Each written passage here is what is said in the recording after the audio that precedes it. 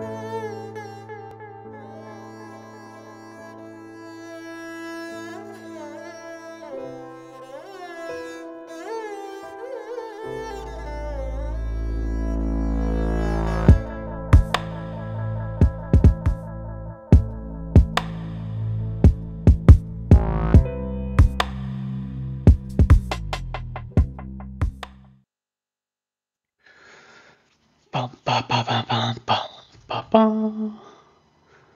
just make sure we're all in the right spots.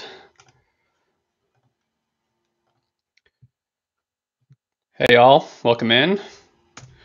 Just checking that we're live in all the right places. Yes, yes. Yes, yes. Yes, yes, yes, yes. Hey, hey. So if you're just getting in right now, feel free to uh, say hello in the chat box over there.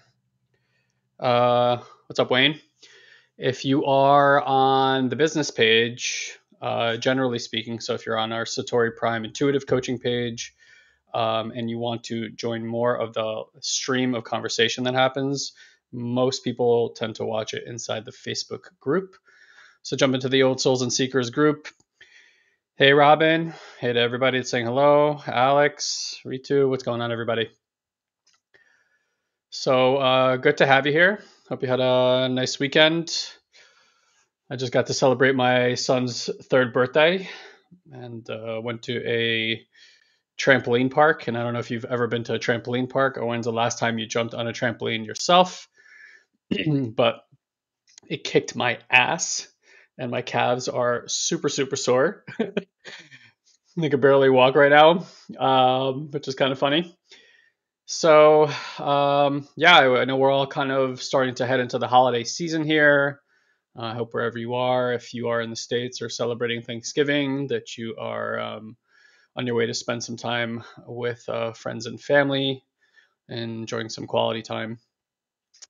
So, if you are new, very new to the Old Souls and Seekers group, please uh, just let me know in the chat box. Let me know that you're you're new here. I'd love to say hello to you and welcome you in. Usually, you get a party of two with myself and my brother. Uh, however, Ilan is also on an airplane flying up the East Coast to see um, his wife's family up on uh, the Philadelphia area there as well. Okay, so I wanted to uh, just make a quick announcement before we get into today's training. Wanted to remind you guys again that uh, after the holiday season, as we go into the new year, that um, you are going to see a price hike across the board on all our programs. So if you have been looking to get into level one training with us, uh, know that at minimum uh, we are going to double the price of that course. Um, so if you are looking to get in and you want to save yourself some money, make sure that you get in contact with someone from our team or take an application to be in that program uh, before the new year because come January 1 the programs will be uh, at a higher cost. So again it's a it's a really really good time to uh, at least at, at, least inquire and find out if you want to be in a program and then decide whether it's a good fit for you. Okay? So um, since I'm uh, on my own today, today is uh, going to be an open format as well. So feel free as I'm kind of bringing some stuff through here to um, ask questions, and I will take as many of them as appropriate in the uh, hour time frame that we slot for these calls. Um, and today's topic is uh, self judgment. All right, like how many how many of us uh, out there, and be honest, you know, inflict pain on ourselves uh, through self judgment. So I thought it would be an, an important topic to broach because uh, something that I value greatly uh, in my life and something that I'm always driving towards is is honestly peace of mind. Right? Like I I don't know how many of you guys have uh, some strain of that too. Like one of your top priorities in life is to feel peaceful and have some peace of mind. Let me know in the chat box there if that resonates for you. so what I want to kind of bring through is um, how can we identify uh, how can we identify essentially what it is that we're inwardly judging ourselves of because the mind has this uh, extraordinary illusion type of mechanism that it does when it is um, manifesting. And this is actually a lot of the stuff that they are starting to not just realize in spiritual circles, but also in um, the quantum physics study of consciousness, is this mind's incredible ability to both manifest and then also um, completely convince itself that it is not the source of that manifestation. So there's this like dual paradox that is happening within our minds, which is both the creator and then the thing that's detaching from um, believing that it's created what's arising in our lives. Let me actually just close something real quick here. Okay. And so, look, self judgment uh, at its at its core, right? Of course, um, most of that lineage is going to come from what you saw at home, uh, the lineage you were born into, the kind of rules and assessments that a culture or religion or your parents may have had, and that has set certain standards in your system. You know, like people who tend to be um, depressed or very sad at the opposite end of that, you could say that that person actually has extraordinarily high standards for themselves.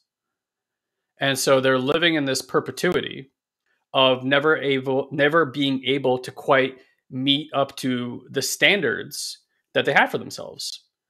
And so in that place are constantly finding themselves in disappointment, in regret, and not feeling like they're good enough. And so there's this perpetuity of this kind of like malaise in their life, right? And um, there's kind of this feeling that if they found their purpose and they found what they were really passionate about, that they would put everything into it. But it always seems like it's just that far out. So I wanted to kind of open with that to give it this different spin because a lot of times when we look at people in those states and I have lived in those states, I have felt depressed and have had, you know, conjurings of suicide and things like that in my life in my teen years for, for a long time, actually. Um, and oftentimes we can look at those people, and those people might look at themselves as a victim of their circumstances, as a victim of their uh, reality, as a victim of their emotions, when in fact, that person may have extraordinarily high standards for themselves and extraordinary work ethic and and again they're just you know they've put that so far out there that they can't meet that. So there are a few things i wanted to talk to you guys about today two principles here um, and the first one is going to be uh, on this principle of um, this thing called excess potential. Okay. Um, well, you know what? Let me back up a step. So, first, when we when we assess what it is that we're judging ourselves, the first thing we want to look at is honestly, like, how are we judging other people? Okay, because the way that our mechanism works is it will uh, externalize an internal truth onto the world. And so if we stop looking at other people as like these uh, other people out there with with agendas and ideas, and we start realizing that pretty much each and every one of us, not pretty much, each and every one of us is living in our own set of reality. Meaning that if I was to go around and ask people in a room to give their opinion about me, I'm going to get a lot of different variations on who I am because every single person is going to see me, my persona, my individuality, and all my things through the filters, belief system, judgments that they grew up around. And so it's just going to skew their view of me just a little bit. And then we can get into an argument about who's right and who's wrong about their view. But the truth is that every person's view would be completely accurate from the point of view that they're looking at it from. And so one of the things that that we've taken on in our lives for many many years is that this this concept this idea that people are not actually responding to you. Okay, so if something is happening in your life, it's causing strife, a fight, anger, whatever, it's like that they're not even doing anything. This is really just your own reflection, your own persona, and your own um, identity in a way or part of your identity that you keep hidden from yourself but then you put this identity on others and you will find yourself judging other people in the world for this aspect within yourself. That is not right or wrong it's just incomplete. And what it means to be incomplete is it just means that at some point in time there was some kind of trauma some kind of distortion some kind of confusion something that happened in the system and in that moment you took this aspect of yourself, right? This thing, whatever it might be, whatever this trauma might be, and you separated it from yourself. And you start looking at it as if it's an object outside of yourself. And then the mind quickly convinces you that you are not this way. And so it will then convince you that others are this way. And in order to resolve this within yourself, you need to resolve this for them. So then you become a person that either tries to, um, you know, like fix this aspect in other people or convince them to be some other way. And this is kind of what we're doing time and time again. So a an immediate indicator for you should be, and maybe a question you might might want to ask yourself right now is, is like, what are the persistent judgments I have of other people? What are the things that really piss me off about society? What are the complaints that I consistently have about the way things are going or the way people are? And then I get into a relationship and I find people like that. I get into a workspace and I find that uh, my, you know, the people who have authority over me have these qualities. And you want to start looking for what is this pattern again what is this this persistency this consistent complaint that i have about other people, about society, and so on and so forth. And if you write this down, it'll help you just to kind of evaluate it outside of yourself. Okay. And now for most people, it is going to be very confronting then, right? It's going to be very confronting to say, you know what? No, I am that way too. Okay. And the way that you can look for this, again, because this is, again, your mind is programmed around hiding this from you. And so you almost have to uh, I'm putting this in quotes because it's not true, like trick your mind into seeing this aspect of yourself. Because truth is, we all have every aspect that a human being can be. If like if there is a a human imagining it, there's a human out there doing it, right? It's like we are completely unlimited in our capacity as human beings. If we can imagine something, we can do that something, right? And so you have to imagine that if if you can even imagine it, there is some human being out there probably already doing it. Okay. And so you want to look for evidence. You want to cultivate this practice of looking for evidence of when you have been that way. Like if you get really annoyed or re- you know really upset when other people are angry and you think to yourself, "Well, I'm not an angry person." I promise you, if we evaluated it and we looked for evidence, whether in your relationships or with your children or uh, in a workspace or when money was tight or when you were on some kind of substance or drunk that you found yourself in a situation where you exuded anger and so this personality trait came out of you. Now maybe that's not your primary and maybe that doesn't come out a lot but it still lives within you and you want to find examples of this okay? Because basically anything that you turn away from in your own system you don't you don't have an opportunity to heal. And that's the fundamental aspect of it is that if you don't turn back to it give it presence and allow for this aspect of you to heal, then in the avoidance of it, it runs your life. Okay, so think about like how much energy people give to judging other people. Why are you this way? Or needing to heal that in society or whatever it is. And the truth is, is that if you heal that within yourself, then you would not even, it would never upset you. You would never even see that in society. It would cause no disturbance in your system whatsoever. And so if you feel like you are leaking your energy to these judgments, you know, to these persistent complaints, then the quickest way to resolve this is not to fix it in society, it's to actually resolve it within yourself. And the way that we do that is we stop, uh, we reintegrate into the system. Anything that's outside of yourself, you're going to feel powerless to do something about. Okay. So, right in that moment of trauma, you put that out here, and it's like you start reacting to it like it's an object instead of looking at it, right? Within and from within yourself and noticing that there is there's some kind of response happening both mentally at the level of physicality and at the level of sensation. And if you do that you can start reintegrating this part back into the system. Some experiences are going to arise about that obviously as you start to notice oh yeah i do have these aspects within myself.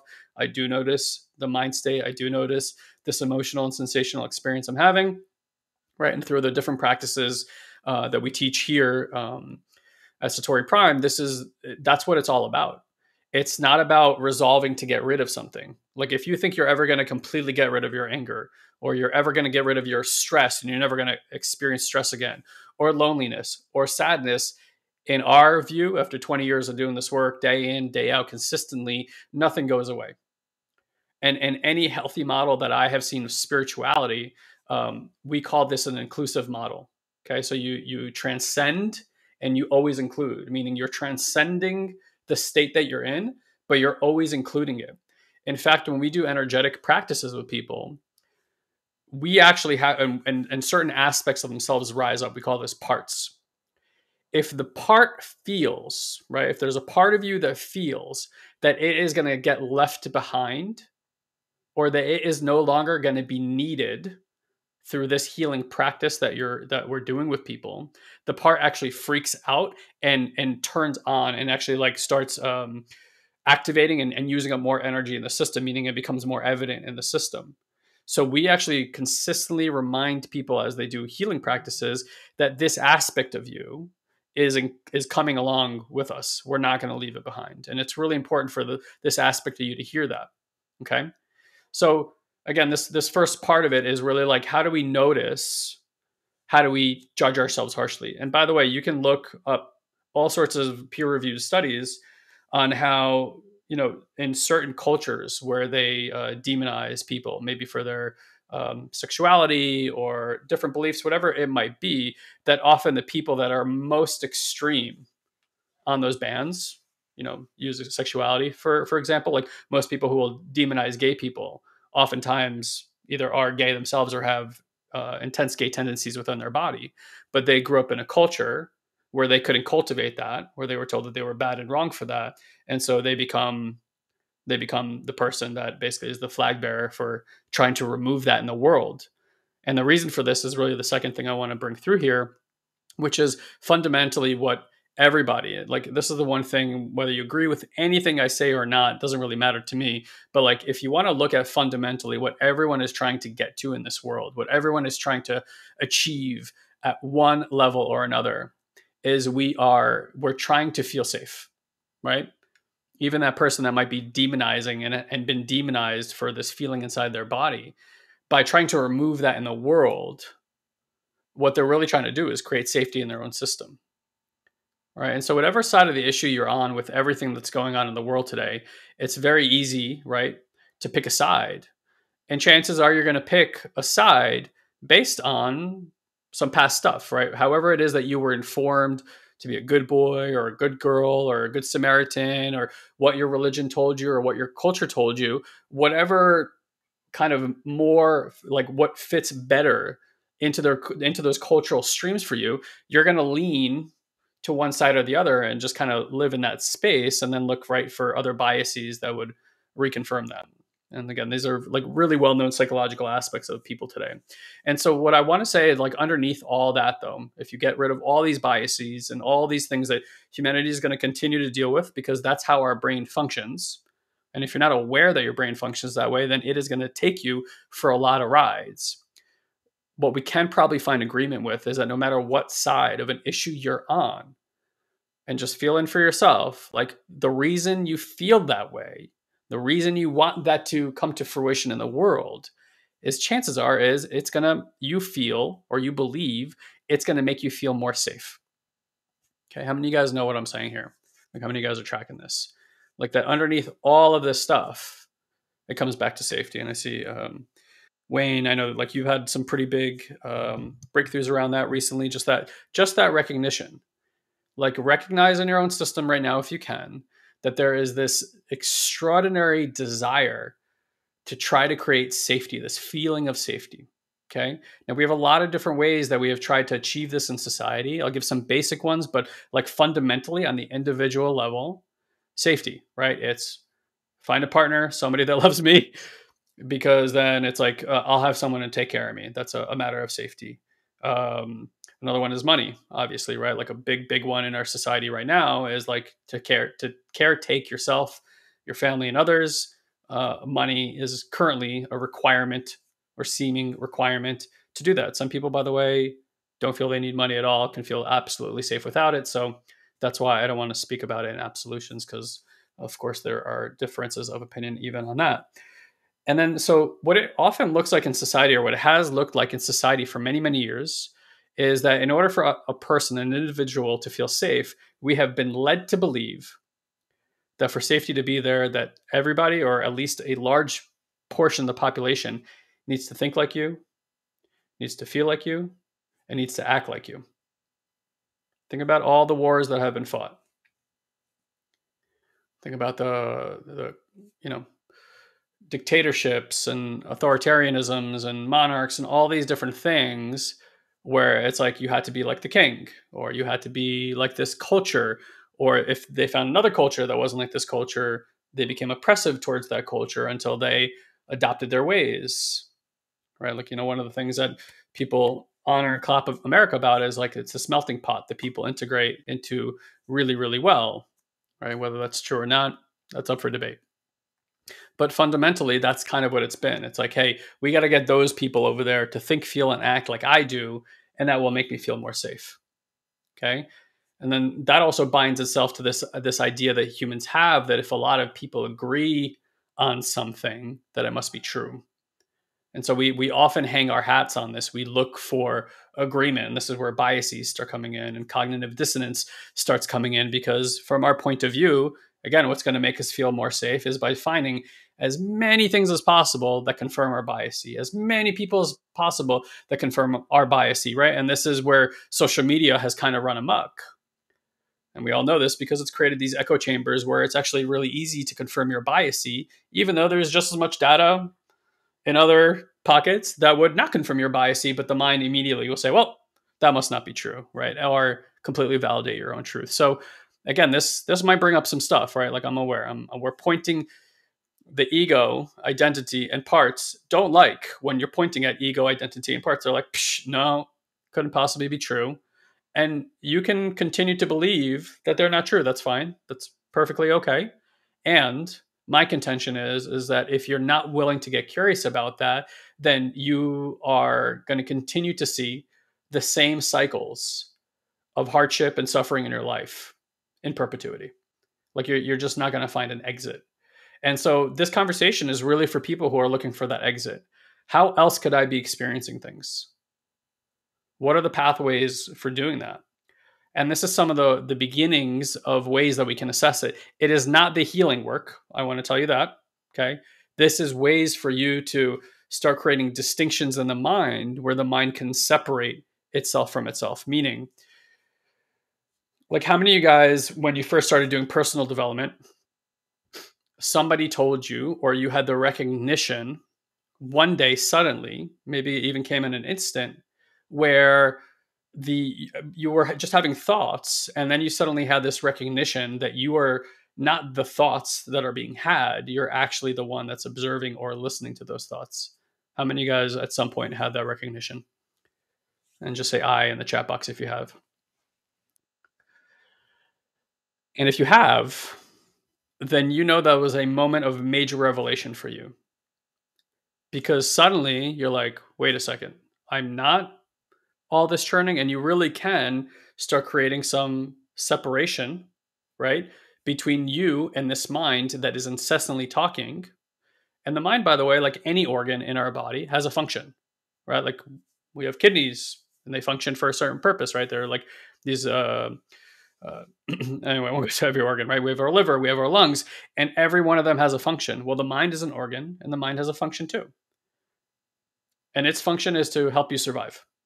And it's going to do that by any means necessary with whatever information it got at a very early age. And it's going to do the best it can with that information to keep going. But does that mean that's the absolute best information that's out there for the mind to operate?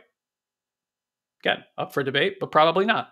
There's probably lots of different ways to do things that you haven't thought, even some really well established things. Just because something is super well established, like in science or in spirituality, doesn't necessarily mean that's the best thing ever, right? Like we're, we're constantly evolving. We're evolving ourselves, we're evolving society, we're evolving technology. So it would seem weird if one idea just stuck around forever even the idea of gravity right this is it's constantly evolving so we want to we want to get into alignment with that like ideas evolve. We can evolve with them and there may be some feeling of tension in the body and in the mind as you even get curious about something that's outside of your realm of knowledge or experience. That's just natural. Okay? So coming back to this idea of safety, it's that fundamentally we're all kind of um, built around trying to grasp at this. And so if we try to do this from the mind and if we try to do this through this uh, agreement based reality where everybody thinks and feels and acts the same i don't know about you guys but if i just assess it from there i'm like what's the likelihood of everyone coming to agreement on something based on our history? I would say that's highly unlikely even improbable maybe impossible right? And so if that's the case and we start seeing us doing this in our own lives and i'm as guilty of anybody right? Like when uh, an idea that i have that i'm i really believe in gets challenged like all this stuff comes up in my system and my first response wants to be like hey that's that's not the way of it. Like you have to see it my way. You have to think about it like me. Don't you feel what i'm going through? Right? And it's taken quite a bit of training on my part to recognize how invaluable like not valuable responding that way is. It's a huge amount of energy to take out of your own system and give to another person. It yields little to no results.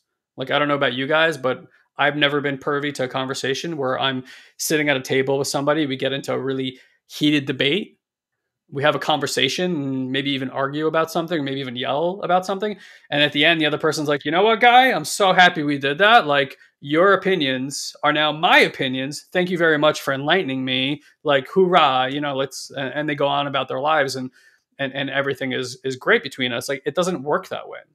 So you, you want to start recognizing like people put a lot of time and effort again go on any social media comment box where people are talking about anything controversial. Certainly, we have plenty of that over the last two years, but that's not new to social media. And you will see like how much time and effort people give to that.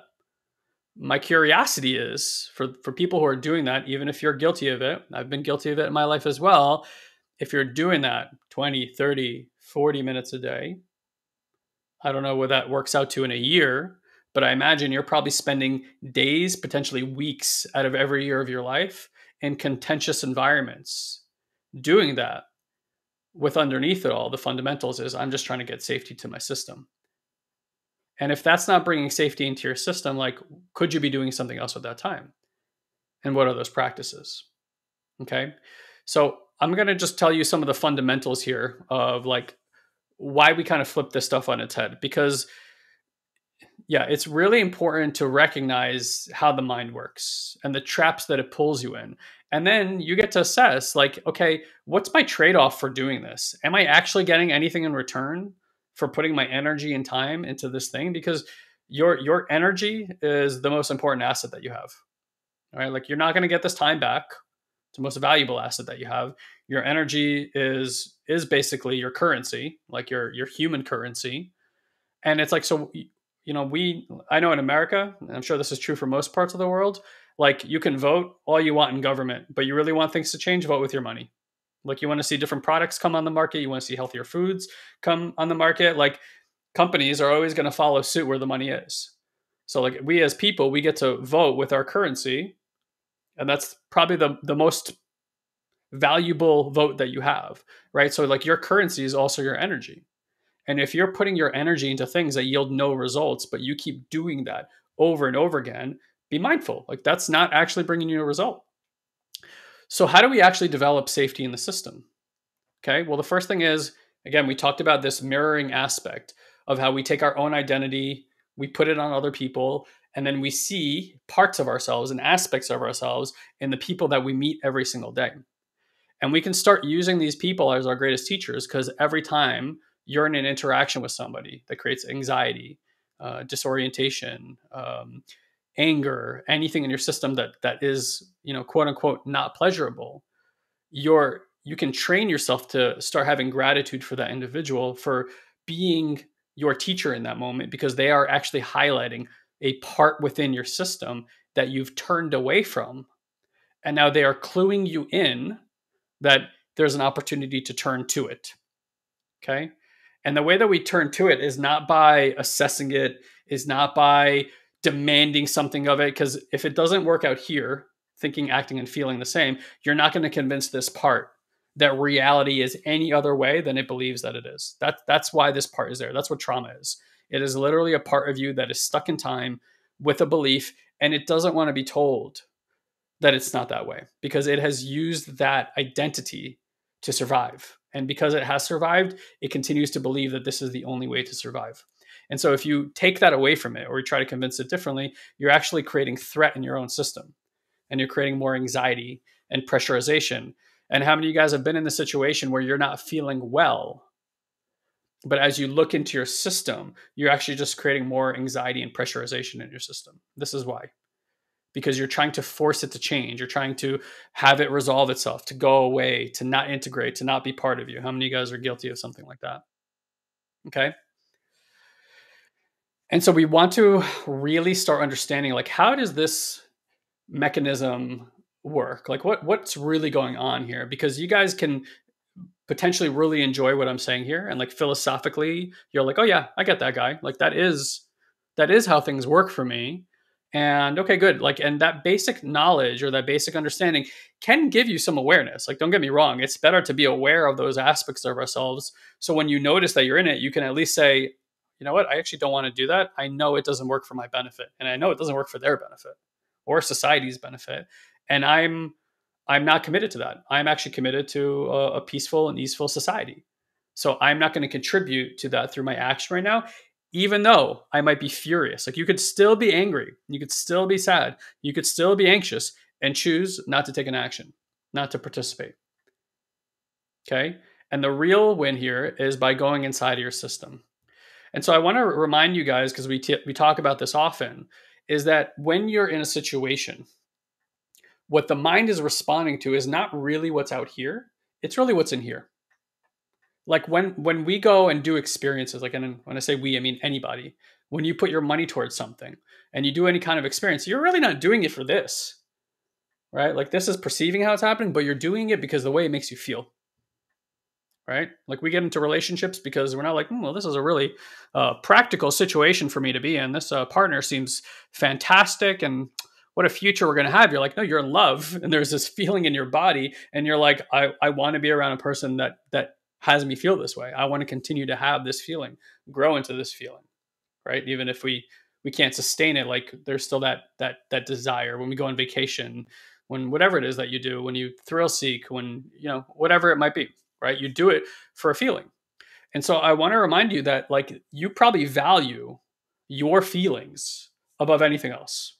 even think about when you're in a, a discussion with your partner and you guys make, you know, something happens and you don't feel good, like you start lowering the value of your partner because you're like, oh, my feelings are hurt, right? Because you you value those feelings probably above anything else in the world but we don't actually live that way. We we we think we we're like in a thinking world. We've developed a thinking world, so we don't even notice that what we really value is is down here.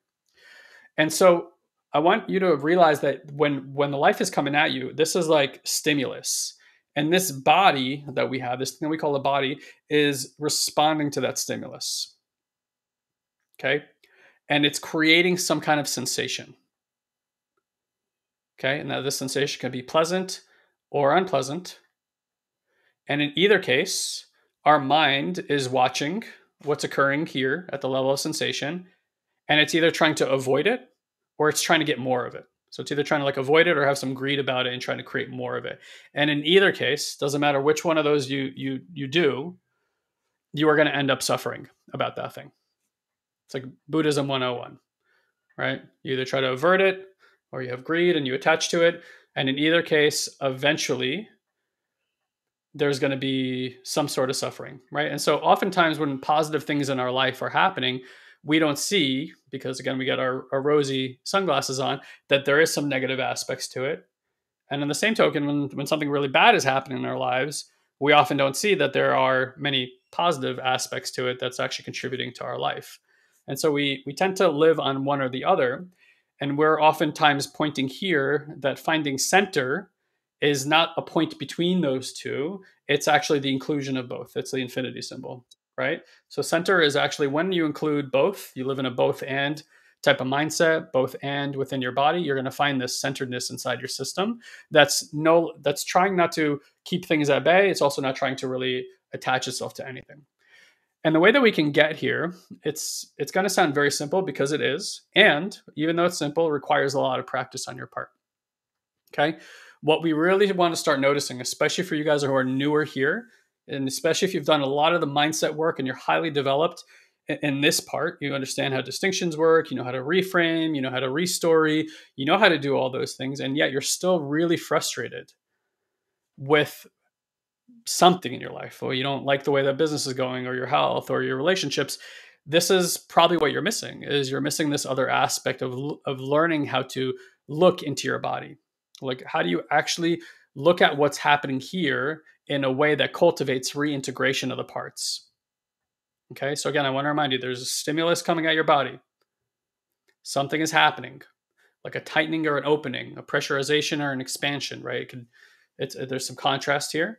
And the mind is looking down and it's constantly in this like vigilant, almost hyperactive, like meth head type of experience.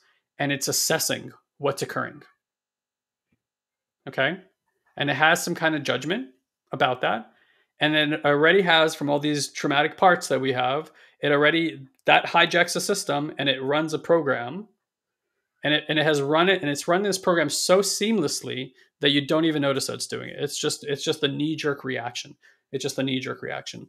So what we can clue into you know of course we can sit there and assess but like I said, what happens when we assess, we often create more pressurization and anxiety in the system.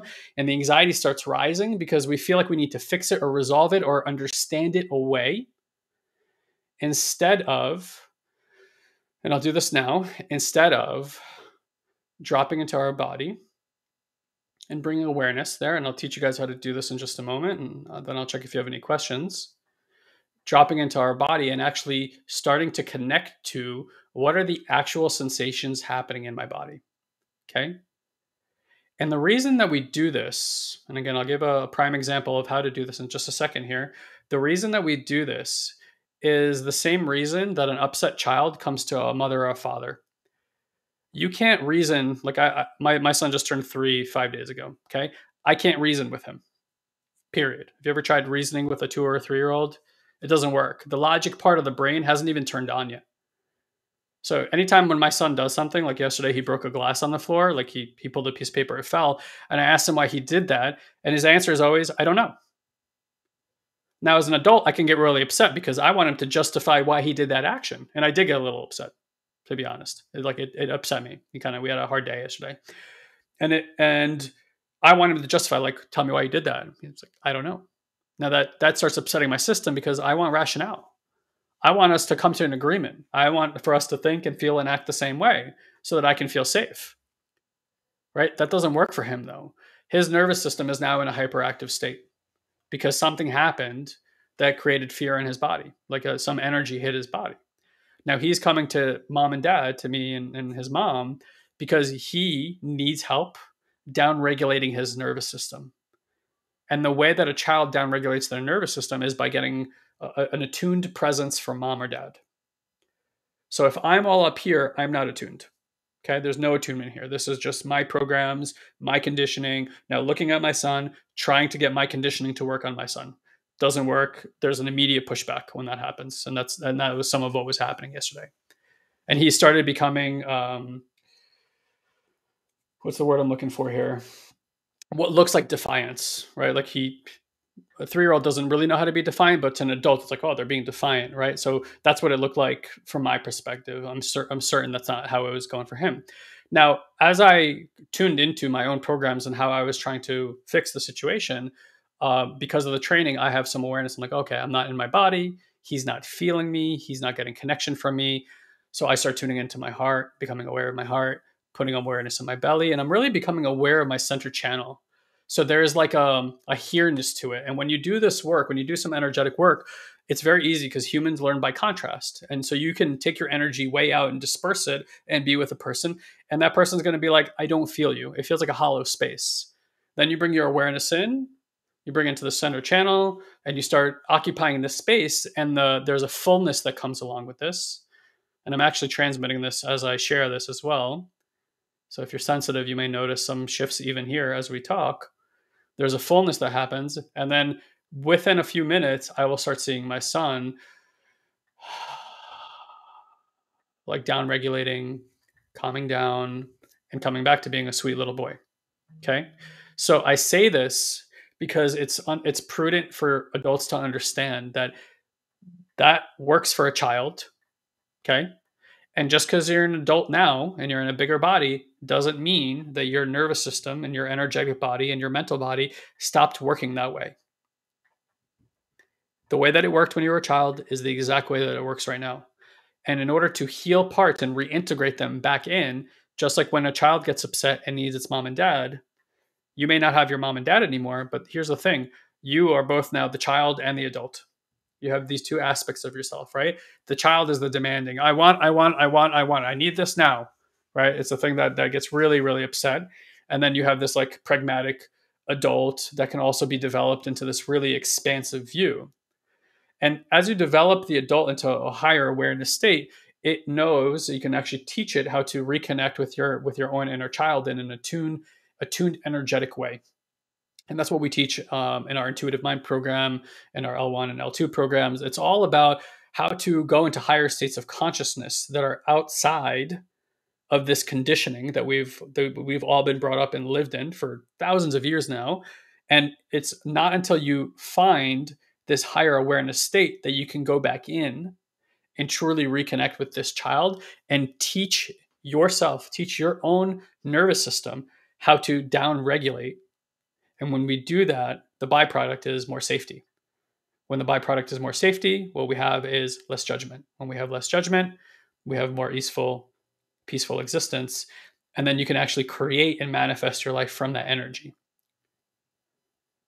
And we remind people here time and time again is that the the actions that you're taking in your life matter a lot less than the energy from which they're being sourced. Okay, so the actions in your life matter a lot less than the energy from which they're being sourced, which is to say, source your actions from a high quality energy. And you are going to see amazing things happen in your life, hands down, in your health, in your relationships, in your business and finances. Like you guys know, right? Like when you're in a shitty mood, it's like everything is swirling, everything is getting bad, everything becomes harder. When you're up and in a flow state and this really beautiful energy, it's like you have the, the Midas touch. So we want to cultivate a practice that allows us for to live in a much higher frequency, a much higher state of energetic consciousness and fluidity so that we can be sourcing everything from our life from this ease and peaceful state. And so that actually creates more ease and more peace in our lives, whatever that might look like for you. You're just going to see that it generates more of that. Okay. So that's kind of the crux of what I want to share today. But again, really simple for you guys who are who are newer and you're hearing this idea of like dropping into your body like that might be a new concept for you maybe not but it could be so i just want i just want to give you again a, short practice here and then i'll take the last few minutes and look if we have any questions if you haven't dropped a question and you do want to ask me a question feel free to put it in the chat box. But just for a moment here if you want to uh, play and, and get curious about your awareness we're going to do a little test run uh, with your awareness. And you can start actually feeling this immediately in your body. And then of course like if you want to start doing some of the deeper work and how to actually connect to these parts and get into resolution not just coping and managing uh, you know my invitation is come do some of the work that we do here so uh, we always do the little the little hand demo so uh, if you wouldn't mind just put like your right hand up next to you like this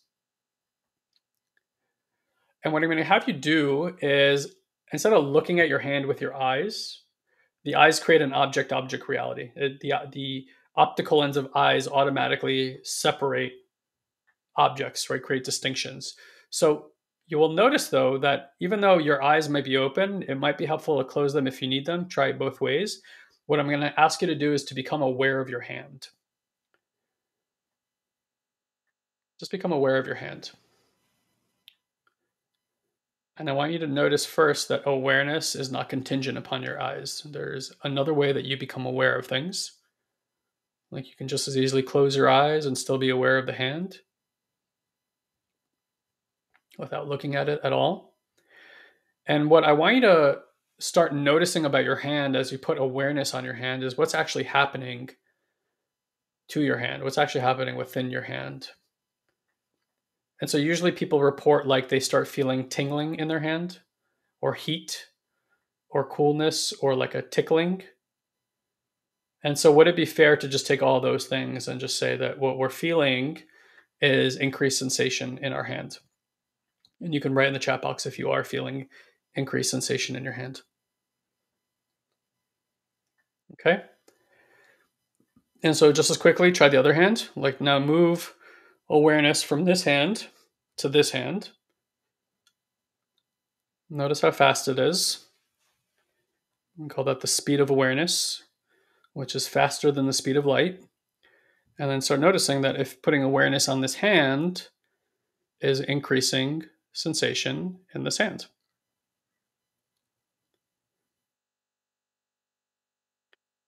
Okay, so again, however it is, heat, cooling, tingling, tickles. And so what's happening? Why are we feeling more sensation in this hand than we were just a moment ago? So I'm sure you've all heard this line where where where attention goes, energy flows, or where awareness goes, energy flows. That's exactly what's happening, actually. We are using this intuitive awareness. And I want you to notice that I didn't tell you how to use your awareness. You knew how to do that intuitively. Every human does. And as we put our awareness here, what happens is uh, awareness, wherever awareness sits, the chi or energy starts collecting. And that's what you're feeling as that increased sensation of the energy. And then chi has this other beautiful byproduct that when we continue to build the chi, chi will actually pull more blood flow up towards that area. So that could be why you're starting to feel the heat. Is actually the blood that's moving towards the energy. And if you've ever heard um, like a yogi who can heal themselves faster, this is how they're doing it. They're they're very intentional with where their awareness is, and so you lay or you orient the awareness to the part of the body that may have the injury you're bringing energy to it and then there's more blood flow which is bringing more nutrients and sustenance to that part and so of course the body can heal faster in this way. Okay? And so now from your hand again just try and move it again move it towards your left foot. See how that feels and see again if what you're looking for is am i feeling more sensation wherever i bring my awareness and so there you go. You probably start feeling some more energy in that left foot. Try the right foot. And so why is this important? Like why why is this an important thing to learn? And hopefully even that little demo is um, eye-opening or reveal something to you. So why is this important? Because most of us again are living from this conditioned mind. Okay? And there is this whole world of subtle energy that our body is constantly experiencing, attuning to, and trying to inform our mind of. But our mind, because we don't really tune into the sensation, all we really notice is the thoughts that we're having, pleasant or unpleasant. That's pretty much where everyone's living. Underneath all that is this whole other subtle reality that's occurring of energy, energy and expansion. Okay. And so with awareness, what you will notice is that when you are in moments of elation or you are in moments of despair, that there is something happening in your biomechanical suit, this body, right? There's something, there's some expression of, it, of what's happening. Usually that feels like a, a tightening or like some kind of a jabbing pain or a pressurization or like a pinching or like a almost like a spike like a like a nail is in there like something like a sharp pain of some kind and it's and it can be from really obvious to rather subtle right like if i bonk you on the head ah, my head, that's going to be really obvious. And notice too, until I hit you in the head, you don't even, you barely even notice that you have a head. It's only when we have sensation that we notice something. Otherwise, it's, it's as if the head doesn't even exist. Because I am not the head.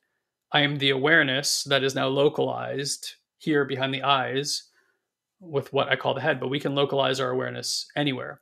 And that's really what this training is about is, is first is realizing you don't have to stay up here you don't have to localize your awareness here. There you are, so easily localizing your awareness in your hand, noticing a response in your biomechanical suit, and noticing that you're actually driving and collecting energy by doing that. That's huge. Most people aren't even aware of this. Okay. And the other aspects is we were talking about trauma and judgment, healing, safety, right? All this aspects, and how coming to a child who is upset with a parent with awareness helps them to downregulate their system and feel more easeful and peaceful. So it would come to pass then, and I'm telling you from personal experience and how this works and having trained tens of thousands of people, that when we learn how to gently place our awareness in the part of the body that's having the experience of some pain or disconnection or loneliness or wherever it might be, we are then retraining this part of our body just like we were retra- just like we're training the little boy or little girl in my example we are retraining this part in our body. Number one that it's safe to be here to reintegrate into the system. Number two we're helping it down regulate itself which basically lets it go of whatever um, identity it has whatever viewpoint it has and just reintegrate back into the whole. Okay so when that process is complete, when we put enough awareness there, when we bring presence to it and it down regulates and reintegrates into the system, what that ends up what ends up happening is that when the next time something in your environment that looks like something that would normally upset you hits the system, the part that was all by itself getting really upset and then hijacking the system no longer does that. It's already reintegrated back into the system.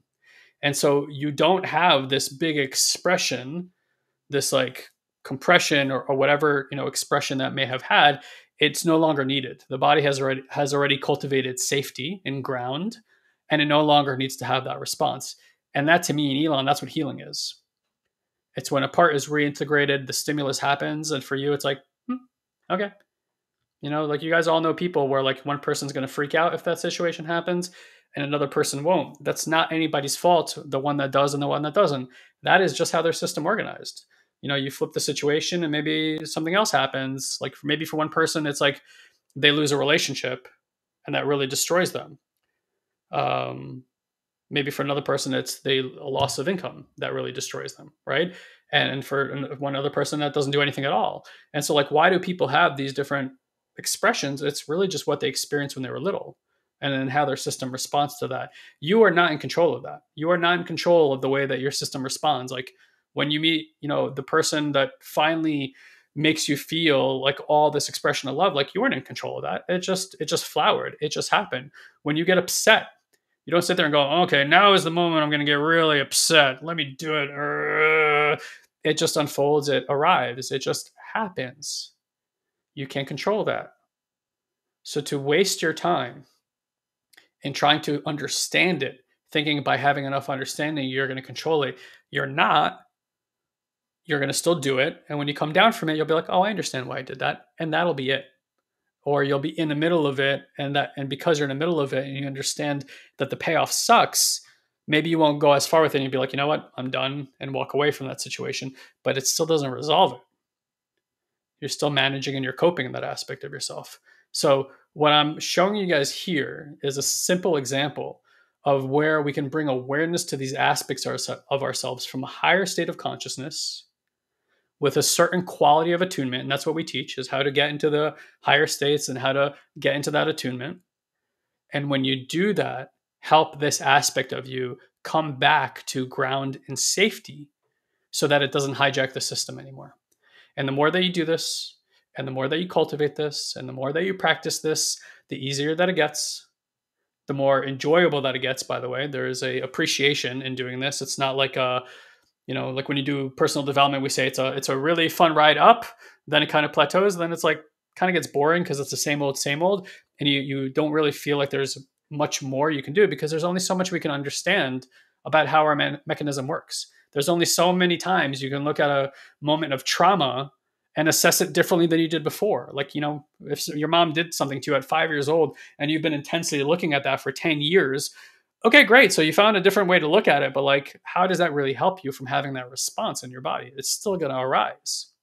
And so the only way that we have found is to, first of all, stop trying to remove it from yourself and start looking at how do I reintegrate this within myself and resolve it in such a way that helps my nervous system respond better from like a more balanced grounded place next time that stimulus occurs in my life because the stimulus will continue to come. That's just what's so.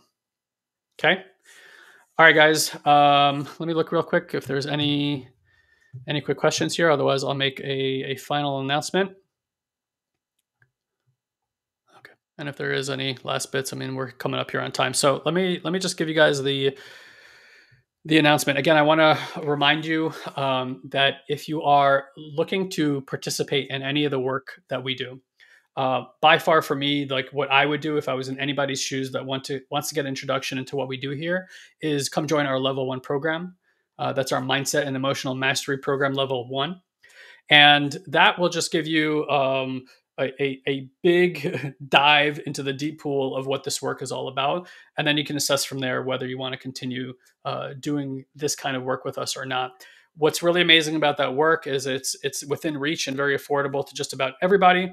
And it also includes an incredible curriculum that we used to sell at close to five thousand dollars. Now it's nowhere near that price point, just a few hundred dollars. Um, and it also includes six weeks of live group coaching and it hits on many of the aspects that I talked about how to uh, start shifting the way that the mind works, understanding how it works. And the reason you want to do that is you really want to create a foundation of of like how do I get off the ride when I'm on the ride? That's the most important part. It's not like you don't like I've never met a human being that can just get off the ride. Okay? We want to be able to recognize being on that ride and then getting off as soon as we can and then going into practices that allow us to establish more safety and ground in the system and using every time that an upset happens in our life not as a woe is me moment but as a woo, an opportunity for doing this work that helps re-establish connection with our nervous system and down regulating it. And so in level one we do both of these. Now again i want to remind you that come january 1st uh, that program is going to be twice the cost. So uh, this is a, an incredible opportunity for you guys to come in and give yourself a, a holiday gift or if there's a loved one that you know that will get value from this work, please let them know and tell them. And then the other thing is, right now, we only accept people into these programs through an application process. It's not a long one, it's very easy. It's only going to take you like three, four, five minutes to fill out our application. Then you get on a quick phone call uh, with someone from our team, our concierge service. We'll get on a clarity call with you.